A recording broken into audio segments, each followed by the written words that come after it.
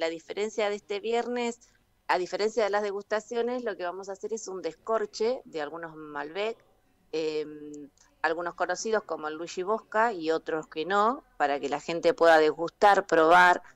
Eh, haremos charlas informales. Vos estuviste en, degustaciones donde hay siempre un sommelier, alguien que explica sobre los vinos que presentamos, que son eh, la bodega, la historia y demás.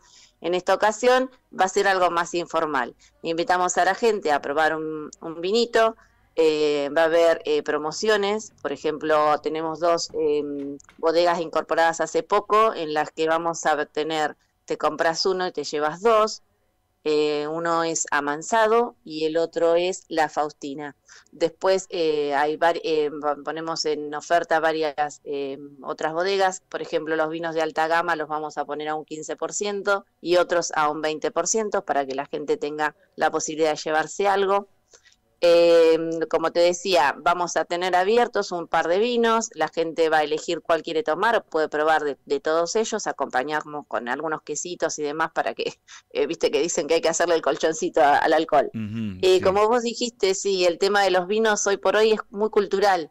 Y más allá de cultural, como estamos en la semana, ayer fue el día del Malbec, que como contamos en otras oportunidades, fue un día, es un día nacional del Malbec incorporado por la Argentina en alrededor de 1853, presentándose unos, em, se presentaba eh, un, algo para poder tener más adelante, más presentar al Malbec, que hoy se dice Malbec Argentina, Argentina Malbec. El Malbec es, es diversidad. Vos puede haber un productor que haga tres producciones de vinos y los tres tipos, los tres vinos van a ser diferentes. Es más, me dio, me llamó la atención algo que dijo. A vos te pueden preguntar cuál es el vino que más te gusta. Mira, abriste este vino, firmame acá que es el que más te guste, que siempre vas a tomar ese, y dice, no lo firmo. Porque en cada vino vas a encontrar algo distinto y te puede gustar hoy uno más que el otro. El año siguiente, como la producción es diferente, te puede gustar más o menos. La idea esta de las noches de las vinotecas, perdón, eh, es esto, eh, como para, eh, a, nivel, es a nivel nacional, muchas vinotecas al mismo, el mismo día, en el mismo horario, hacer diferentes eventos. En nuestro caso es el descorche, otros, otros van a hacer degustaciones y, y bueno, o sea, con, con, con, comida y demás. La idea es, como nos dice la persona que nos, nos invitó a participar de esto de las noches de las vinotecas, que es nuestro segundo año, es que la gente tenga la oportunidad de conocer al vino de otro, desde otro punto. Eh, llega un momento en que uno dice hacer un vino es arte.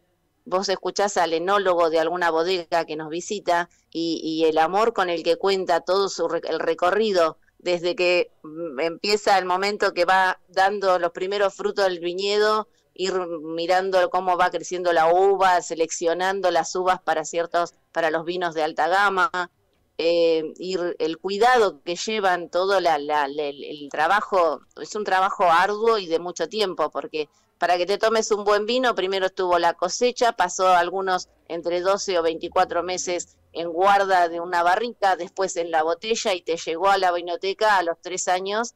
Y si lo guardas, algunos vinos guardándolos entre 5 y 10 años dicen que es mucho más rico, es otra manera de disfrutar el vino. Para los que quieran ir este viernes a partir de las 20, decinos si hay que hacer reserva y este, la dirección, por favor. En la dirección, eh, como bien saben algunos ya, nos hemos mudado y estamos en Tucumán al 2005. Bien. Eh, no, no hay que hacer reserva, vamos a estar entre las 20 y las 22 más o menos, que pase, puede pasar, mirar, tomarse un vinito, comprarse alguno o no, no es obligación, es simplemente venir y empezar a descubrir, como hiciste vos, este mundo del vino que es fascinante. Somos Radio Noticias